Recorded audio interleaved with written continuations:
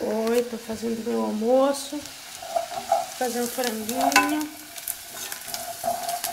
Com arroz, ó, já tá tudo ali. Já cortei a cebola. Vai ficar bem gostoso, vai ser o almoço de hoje.